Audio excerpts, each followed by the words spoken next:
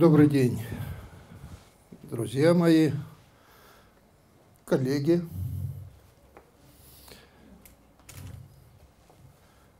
Я действительно э, ехал и размышлял, ну, о чем мы с вами будем сегодня разговаривать, и что вас больше интересует. Но потом, вот предварительно, мне стало понятно, что не техническая сторона, а более такая чисто человеческая, базовая. Ну, наверное, с этого и начнем. Родился я в 42 году. Родители, отец пожарный. Тогда он был начальником или командиром небольшого гарнизончика, два автомобиля пожарных старого образца с открытым выездом на лавках и э, красивых касках. Мама хирургическая сестра, познакомились они, понятно, потому что отец где-то неудачно спрыгнул с машины, попал в хирургию, ну а дальше все пошло своим чередом. Постепенно со строительством гидросооружений, за которые в основном отвечал отец, за безопасность их не только пожары, там, но и другие были дела. Постепенно приближались к городу Ташкенту, ну а затем уже в 1944 году обосновались в Ташкенте. Пожарной команде, тоже закрытая часть, специализированного назначения, ориентирована на охрану, пожарную охрану гигантского текстильного комбината в Ташкенте. У меня был друг, старше меня на 4 года, сын старшего водителя этой пожарной маленькой команды. Толик Розянин стал, по сути, у меня первым учителем. Он готовится к следующему дню, делает уроки, домашние задания, рядом меня посадит, чтобы я не болтал ногами там и не мешал им. Он мне подсовывает газету. И вот на газетах я и начал практиковаться в своей школе. И мало того, Толик же с отцом в гараже там ковыряется, помогает отцу. Его уважают взрослые. Толик, ты кем будешь? Летчиком. Да, будет из тебя летчик. А ты, Вовик, кем будешь? Я тоже летчиком буду. Хохот в зале, так это, мне обидно. Еще как было обидно. 57 год, первый спутник, урок физики, и учитель рассказывает про спутник, про ракеты, про Циолковского. А это был маленький толчок, в общем-то, потому что звезды, особенно в горах, в лагерях, вот они. Ну а дальше я все-таки летчиком мечтаю быть. Это у меня никуда не делось. Полет Гагарина меня укрепил, что вот, все, правильно буду летчиком. Училище заканчиваю с отличием. У меня есть возможность выбора любой войсковой части, куда угодно. Я стою инструктором. Почему? Потому что в летчики-испытатели берут инструкторов с большим удовольствием, чем боевых летчиков. У инструктора академизм, пилотирование, точность, которая требуется в испытательных полетах буквально сплошь и рядом. А все равно вот полеты, полеты, полеты, смотришь с восторгом, так, второй, третий полет в космос, там, женщина. Ой, Господи, сколько же разговоров на аэродроме. И все мечтают в отряд. Отпускают в отряд. Возвращаются с ограничениями. Очень многие вернулись с ограничениями, а то и списывают полностью по здоровью. И вот прилетает Герман Степан Титов. Набирает на спираль. А спираль – это была тема а, Минобороны, мини-буран, как ее иногда называют, а, старт вертикальный на нашем носителе «семерки». А посадка на любой э, аэродром, в принципе, особых каких-то требований к аэродрому на этой машинке, на этой птичке не было. Единственное, что посадка этого самолета э, космического была очень похожа на посадку Су-7. На беседу вызвалось э, около 20 наших ребят. Меня тоже взяли. Ну, сразу сказали, что вообще-то проблемы с весом э, у вас будут. Я не ожидал, что такие проблемы. А, сказали, ну, мы вас вызовем. 6 ноября 1969 года вдруг приказ всю эту команду в в госпиталь на медицинское обследование. Приехали. А там весь госпиталь перед праздниками очистили и приехали со всего Северного Кавказа летчики, человек 150 наших ребят, кандидатов в отряд. Мы, ну и первое, это первое утро, так, на весы и первая графа, вес 82. Да не годишься. По весу ты не проходишь. 75 ты читал, нет требования. Я говорю, а можно я эту графу в конце обследования заполню? Ну, давай, договорились. Ребята просто партиями уезжают день за днем с диагнозами. Вот остается маленькая группа, э, человек 7, нас 8 из 150. А я не ем в столовую не хожу, пью воду и делаю круги э, по бегущей дорожке в парке. Пальтишко дел и... Короче, встал на весы, конечно, чуть... А, нет, появилась легкость во мне, так, но все равно качало. 75. Нули-нули. Так я был допущен к обследованию в, Московском э, авиационном э, госпитале в Тняге. Из 1150 кандидатов отобрали 8. И в 70-м вот я пришел в отряд. Первая моя экспедиция, 78-й. Вот январь месяц с Олегом Макаровым короткая экспедиция на станцию, где работали Юрий Романенко и Георгий Гречко. Они отработали там уже рекордную экспедицию, там больше 80 суток. А мы а, к ним пришли как бы с гостевой экспедицией. Короткий полет, да там какой сон. Я не знаю, еще полечу ли когда-нибудь, а Земля просто потрясающая. Смотришь в иллюминатор. А, восход Солнца первый, как мы увидели вот после старта, после выведения на орбиту, восток Солнца – это что-то потрясающее. Нет такого гимна, никто еще не написал поэмы этому солнцу, которое восходит над э, планетой. Это э, и краски, и э, какое-то внутреннее, в общем-то, замирание.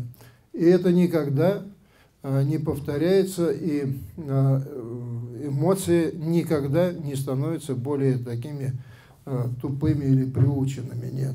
Всегда все по-новому. А за сутки 16 раз может быть восход и заход. Но нет времени смотреть много в окошко. Хотя, в общем-то, а, готов неотрывно сидеть. Да что там говорить, Юрий, а, Валерий Поляков, врач, а, полтора года отлетал полет свой. И не, не скоро еще кто-то полтора года отлетает вернулся, говорит, вообще-то, ребят, мне бы еще недельку там полетать, вот, потому, но только чтобы без экспериментов, чтобы я только сидел у иллюминатора и смотрел бы на Землю, больше ничем бы не занимался. Вот. А, и то же самое со многими космонавтами. И вот короткий полет – ну, во-первых, 8 лет подготовки. И вообще, наверное, я всю жизнь к этому полету шел.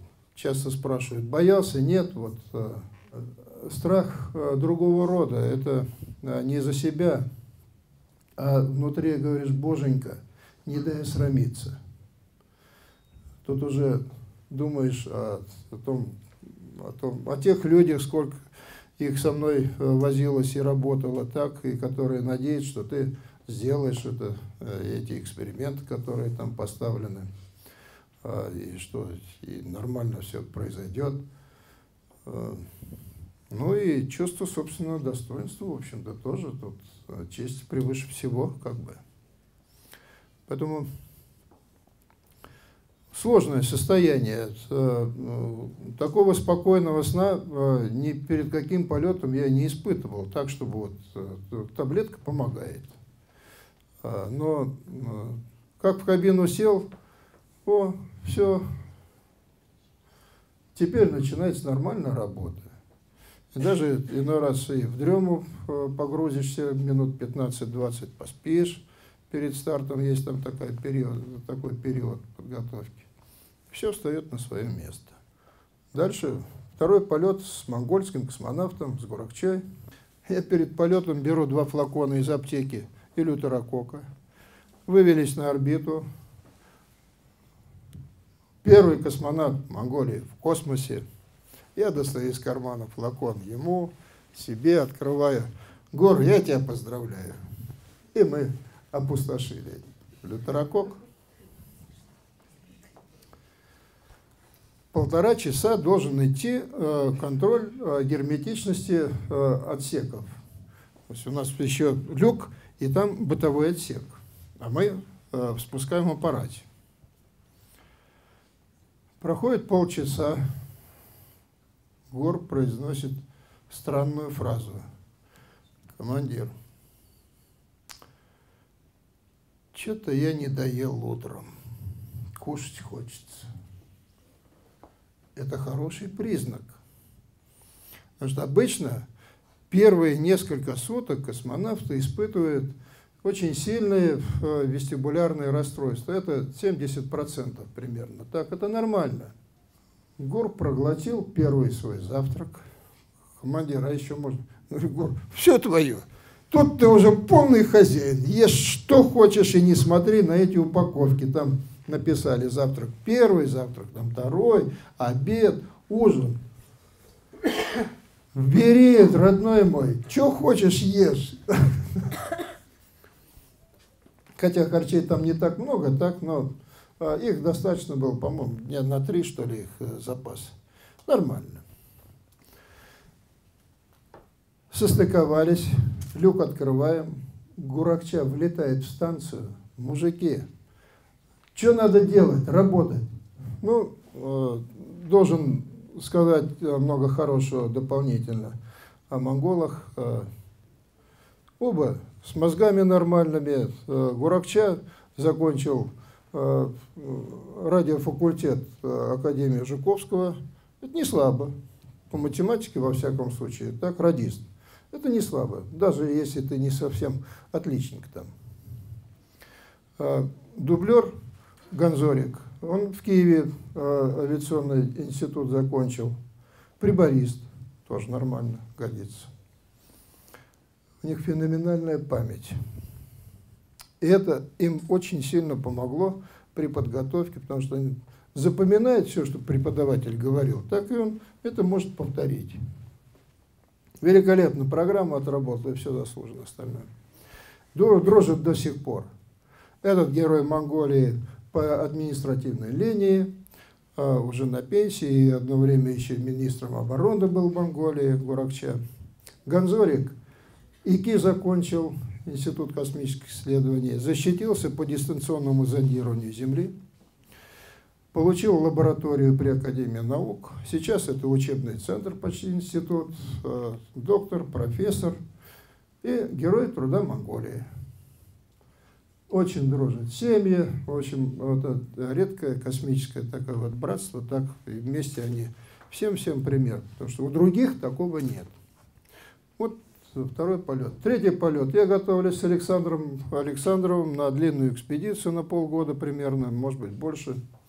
И вдруг э, заболевает Юрий Малышев, командир советско-французской экспедиции. Э, меня выдергивают из экипажа, Юра Малышев в госпиталь. Э, ну и вот и я очень срочно включаюсь э, в работу с французами где-то за сколько? За 4 месяца до старта слетали с французом, были проблемы на э, стыковке, э, отказ автоматики. Э, вручную удалось э, выйти из ситуации, обеспечить безопасность, э, уйти от столкновения со станцией и все-таки остановить расхождение. Тут уже были чистейшие ручные работы, и тот опыт старый мне тут пригодился. Состыковались, отработали, три полета сделал. Ну и больше всего говорят, так ты свободен, занимайся, ищи там какое-то другое себе применение, можешь погружаться в, в любимую свою физику. Да я уже погрузился, потому что я уже до этого познакомился с Львом Сапогиным, автором унитарной квантовой теории. Лев Сапогин у меня стал а еще и преподавателем, э, инструктором по альпинизму, научил меня лазить там по скалам. Вот он сам мастер, инструктор, альпинист ко всему прочему. Ну и другая тема. Так вот моя физика, куда я вернулся, в конце концов. А так э, занимаюсь вот э, бурановской тематикой во все, там много поездок, много стендов, много э, испытаний в Институте медико-биологических проблем – Буран рождается совершенно потрясающей по своим возможностям. Это уникальная думающая машина с феноменальными возможностями. После третьей тренировки на стыковке, на сближениях, так я сажусь, так он меня узнает, здоровается, так просто вот ручку тронул, так он уже понимает, что это я, так. То есть э, и э, говорят, что космонавты, испытатели учат летать самолет, вот Буран – волчья стая, вот эти летчики-испытатели, которые все погибли, кроме Игоря Волка, они учили Буран летать. И там были математические модели, которые нужно было сшивать. Вот самолет сам не, не умел делать. И два, два института не могли как-то вот решить вот это вот стык двух программ разных. И эта стыковка, эта связка э, зародилась э, в недрах компьютера Бурана Э, как уже, в общем И Буран помнил всех летчиков своих, э, так и посадка в автоматическом режиме Буран происходила. Боковой ветер, порывы до 25 метров, а такой рваный ветер, боковой, э, ограничение 15 метров. И вот когда показывали, как Буран на на посадке борется с, со сносом, а потом, как он выравнивает и перед самим приземлением ловит полосу, при таком сносе, э, если только держать прямую, останешься без стоек. Снесет просто. Так, и вот летчик умеет это делать. Они его научили, он сделал. Отклонение полметра было от оси всего лишь. Гениальная машина была. Вот это мне, э, меня полностью, в общем-то. Но тут свет советская. Читает где-то в иностранной прессе, что американцы готовят первый выход женщины в открытый космос. Она с этим э, к Валентину Петровичу Глушко, генеральному конструктору э, НПО «Энергия» тогда была. Академик посмотрел. Ну, надо, говорит, пообщаться в ЦК. Проходит неделя, мне предлагают стать командиром. Ну, Светлана Евгеньевна меня выбрала командиром. А второго рядом Игоря Волка сажают. Вот я с ними лечу. Какая задача у Советской? Первый выход женщины в открытый космос. Что надо будет делать? В руки инструмент – универсальный инструмент, сварка металла, резка металла, пайка, напыление флюсом, предположим, можно напылить на э, пластину, так потом приложить другую пластину и припаять, таки латку наложить. Так вот пайка, собственно, зачем пайка там? Латки накладывать. Но как только я взял в руки инструмент, я сказал, ребят, вы на кого рассчитываете? Нормально, вот э, мужики же так это. Вы что делаете? 10 килограмм в многошетке. Вы на кого рассчитываете? Ну ты, конечно, ты сварщик, так это самое, говорю, ну варишь, так. Ты хоть подумай чуть-чуть. А сколько надо? Я говорю, полкило, не больше. Гашетку нажимать. Ну, я говорю, у меня уже квалификация, офицер водолаз. И сколько я в этом скафандре под давлением отработал. Я знаю, что такое эти вот нагрузки, я знаю, что такое вообще свои возможности и возможности. Просто милой женщины, так, хоть она и летчик-испытатель там и прочее, так, достоинство, так, но а десница у нее не та. 40 килограмм. А что такое 40 килограмм в надутом э, скафандре? Это вот только пальцы вот так вот свел, 36 килограмм. А там еще что-то надо делать. 4 килограмма. Да они вмиг улетучиваются, и все, беспомощное совершенно там существо. Быстро переделали, когда оценили, да. Но все-таки килограммом меньше не стали. Ну, хорошо. А вообще аппарат гениальный. Это японская видеокамера небольшая. По сути, так вот. С хорошей рукоятью, удобной, э, с защитой металлической от э, возможных э, капель. Сварочные дела, они сопровождаются все-таки плавкой, там, резкой. Легкая, невесомости вообще очень удобно оказалось. Короче, полет получился великолепный, успешный эксперимент на всю планету. А потом следующий экипаж с нашим инструментом уже сварил 11-метровую нормальную вышку, как у нас на Земле варят.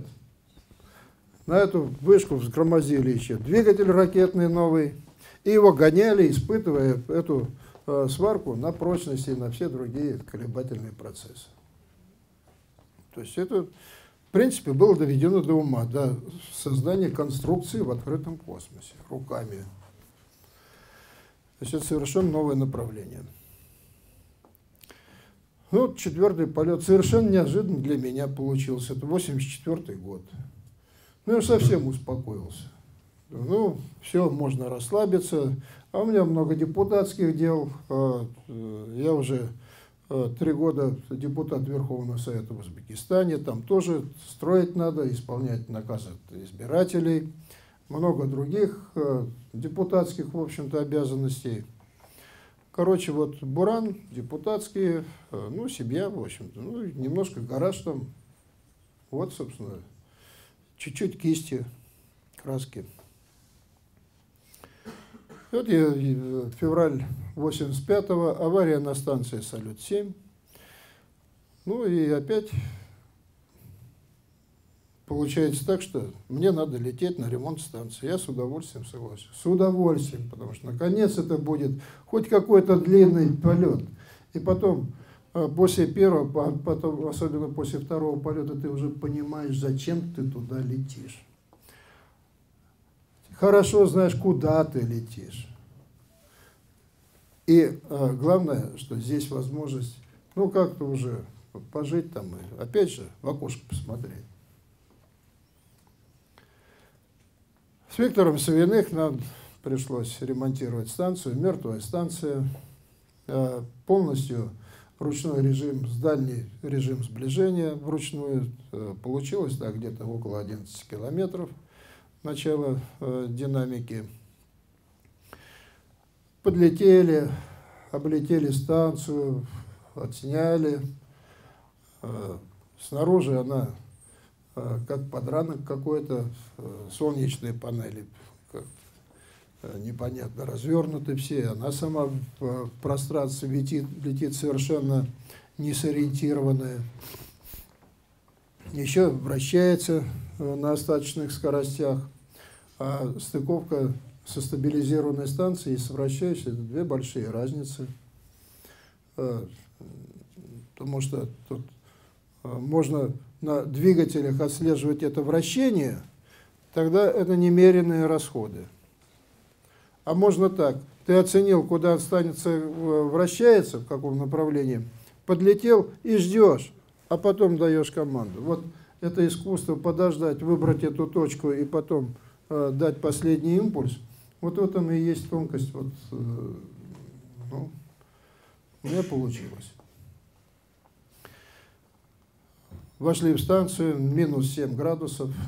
Не просто энергетика вышла из строя, так, а вся система водообеспечения э, вышла из строя. Регенерация воды э, ноль, запасы воды на станции э, небольшие.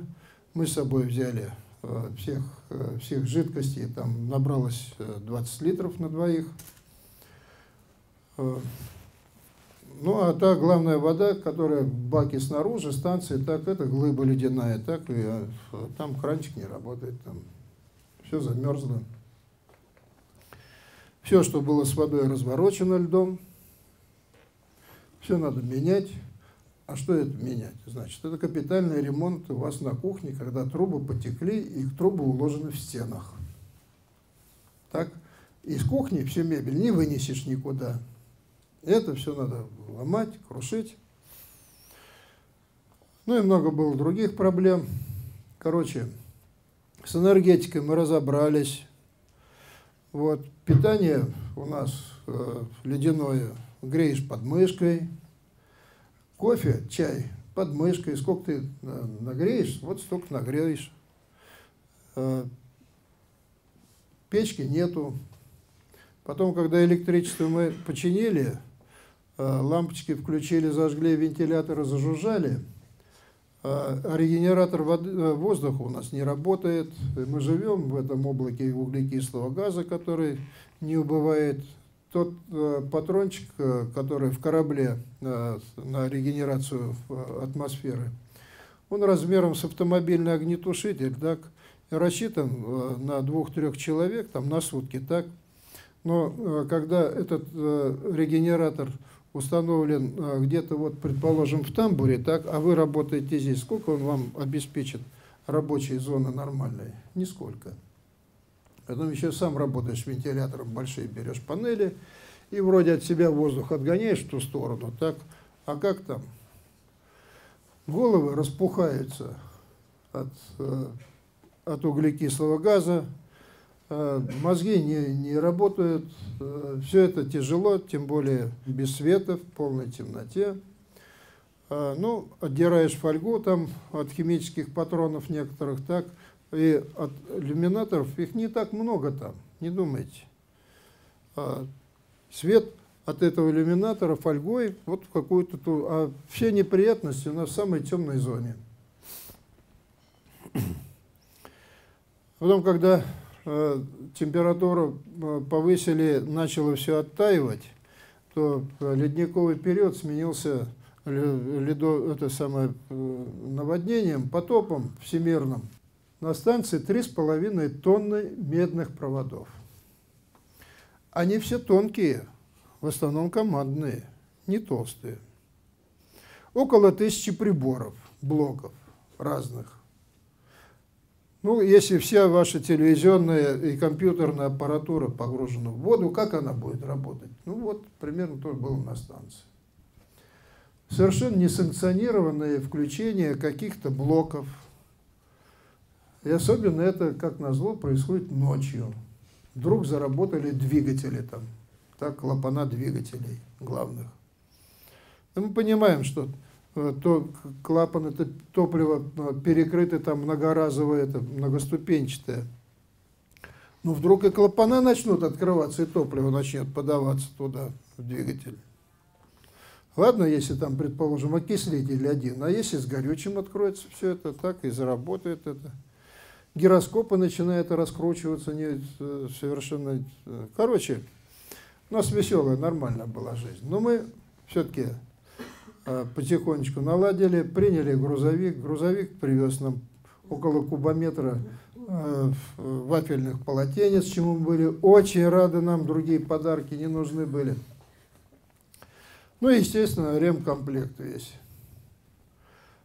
С питанием хуже всего. Я все-таки, э, ну, Виктор, он северный человек, так как-то вот кофе он терпеливо завтрак туриста, консервная банка, под мышкой, так, ну, нормально вроде, хоть и клеится, но все равно можно. потреблять. А мне так хотелось чаю.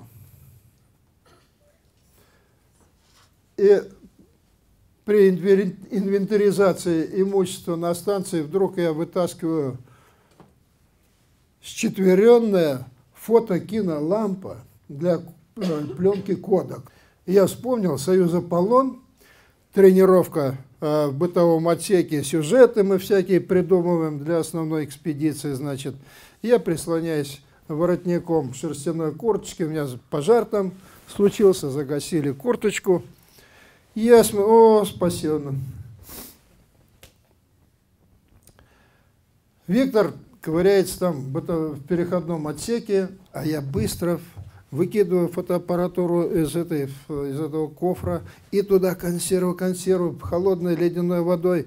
А, у нас остатки воды были, так туда водички, а, в, в этот чай, кофе, так помню, эту лампу. А мы только вчера мы наладили схему. Мы э, из восьми аккумуляторов два выкинули негодных, так на шести полудохлых, так у нас запас маленький. Как воткнул, так лампочки раз подсели. Виктор, что ты там делаешь-то? Так. Говорю, Витенька, я тебя приглашаю на горяченько как-то. Это был наш большой секрет, как мы выходили из этой ситуации. А потом, да нет, потихонечку наладили жизнь, пошли эксперименты интересные, снимали, э, э, много снимали, пленки у нас было свежие, с грузовиком пришло. И нам дали возможность впервые, впервые в истории космонавтики мы имели возможность самостоятельно включать двигатели, ориентировать станцию, включать аппаратуру и производить съемку того, что нам понравилось на Земле. Шестиствольная аппаратура, а, много, многозональная съемка, так? Ну, конечно, были у нас и задания что-то снять, э, огромная территория была не отснята э, нормальных, в нормальных условиях по разным причинам. Это наши лесопосадки. Вот. Дальше э, снимали Кубу по заявкам, в общем-то, э, наших. Снимали Бразилию, вырубку лесов, эрозии почв.